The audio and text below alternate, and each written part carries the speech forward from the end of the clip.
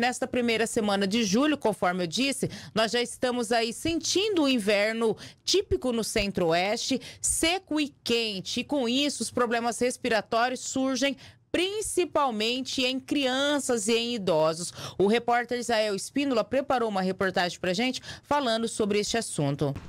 Tempo limpo, céu azul de brigadeiro, temperaturas na casa dos 30 graus.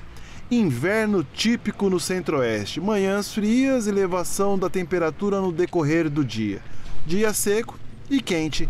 O problema é que essa combinação acaba trazendo problemas respiratórios, principalmente em crianças e idosos. O Douglas já notou esses efeitos no filho, principalmente à noite. Ah, normalmente é, ele às vezes espirra, tosse, é, bem, pega essas gripezinhas bem típicas agora dessa, dessa época do ano, né? A gente faz o possível para é, jogar água no corredor, ligar o umidificador no, no quarto, para tentar evitar ao máximo aí essa, essa sensação ruim que tem do, do tempo bem seco, né?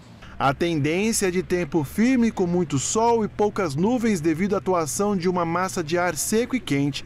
E de acordo com a previsão meteorológica em todo o estado, a umidade relativa do ar deve variar entre 15 e 30%. Por isso, é necessário manter a hidratação ao longo do dia. É o que tem feito Douglas para manter a saúde do pequeno. Sim, sempre. Bastante água, bastante líquido durante o dia, né? É, ele também é, amamentação no, no, no, peito, né? Então é, é bastante água, muito peito e água de coco, suquinho, para a criança ficar assim, feliz. Nesses dias de baixa umidade relativa do ar e com maior exposição dos raios do sol, é importante que as pessoas se protejam. Se este clima seco já é prejudicial para crianças e também para os idosos, a situação fica mais grave para a natureza, pois não há previsão de chuva para os próximos 15 dias e o estado já está em alerta para as queimadas. Em relação às chuvas, devem ficar abaixo da média no mês de julho, inferior a 35 milímetros, como destaca a meteorologista do Centro de Monitoramento do Tempo e do Clima de Mato Grosso do Sul, Valesca Fernandes. No mês de junho, observou-se chuvas entre 0 a 60 milímetros nas regiões leste e bolsão do estado, com alguns municípios ficando abaixo ou ligeiramente abaixo da média histórica. Por exemplo, em Três Lagoas registrou-se 32,8 milímetros, enquanto Paranaíba registrou 7,6 acumulados no mês de junho. E para julho, a situação meteorológica deve permanecer parecida com a segunda quinzena de junho de 2022, devido à influência de intensas massas de ar seco. A chuva observada com base nos dados históricos é de 10 a 60 milímetros durante o mês de julho para a costa leste do estado e a previsão indica que as chuvas ficarão 40 a 50% abaixo da média histórica. E segundo a NOAA, a previsão indica continuidade da laninha de 52% para o trimestre de julho, agosto e setembro, e provavelmente irá influenciar nas condições do tempo no inverno.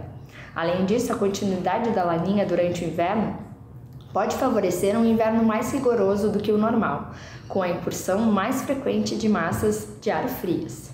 Além disso, nesse período são observados baixos índices de umidade relativa do ar e grandes amplitudes térmicas, que é a diferença entre a temperatura máxima e a temperatura mínima, que por consequência favorecem condições propícias para o aumento dos incêndios florestais impactando em perdas de biodiversidade, perdas de qualidade de solo, problemas de saúde, alterações nos regimes de chuvas, entre outras consequências. A falta de chuva deverá seguir até o mês de setembro, quando a temperatura fica mais elevada e a preocupação aumenta com os riscos de queimada, como ressalta o comandante do 5 Grupamento do Corpo de Bombeiros. Já estamos chegando na época da seca e da alta temporada. Em junho para julho, começa a secar o tempo.